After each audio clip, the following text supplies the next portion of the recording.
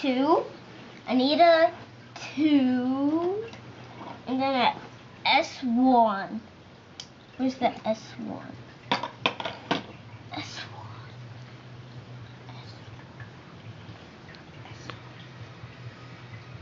S1. One, one, one. No, Matthew's looking for the switch. Okay, this is the S1. And then I'll put the two on. And then If that's what it is.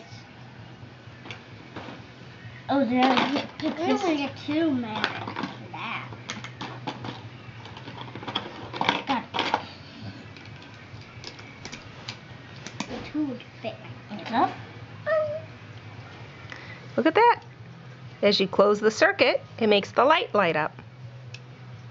As and as you turn it, as you switch the switch off, the light, the circuit, it doesn't let it go all the way through the circuit, and it stops at the switch.